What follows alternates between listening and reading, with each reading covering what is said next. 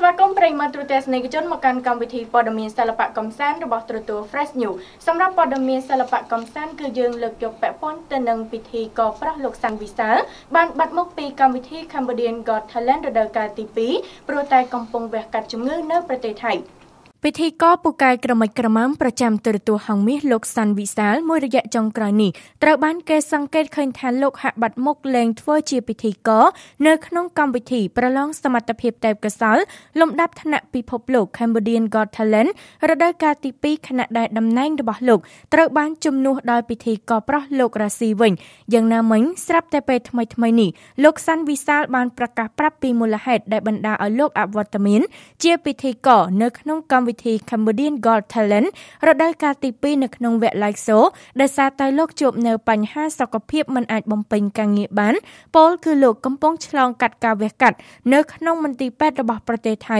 អស់រយៈពេលមួយរយៈមកហើយដែលដំណឹងនេះធ្វើឲ្យទស្សនិកជនមានការព្រួយបារម្ភយ៉ាងខ្លាំងផងដែរយោងទៅតាមគណនី Facebook របស់លោកសាន់វិសាលបានបង្ហោះសារយ៉ាងដូចនេះថាខ្ញុំឆ្លងកាត់ការវះកាត់អស់ប៉ុន្មានអាទិត្យនេះរួចរាល់ហើយព្រោះតែជំងឺខ្ញុំមិនអាចបំពេញការងារបានមិនយូរមិនឆាប់យើងនឹងបានជួបគ្នាហើយសូមទោសដែលមិនបានជួបនឹងធ្វើការជាមួយបេក្ខជនទាំងអស់នៅក្នុងវគ្គ live show រដូវកាលទី2នេះសូមចូលរួមគ្រប់គ្រងអ្នកមានសមត្ថភាពទេពកោសល្យជាបន្តនៅក្នុងកម្មវិធី Cambodian Got Talent លើកញ្ចក់ទូរទស្សន៍ហងមាស HD TV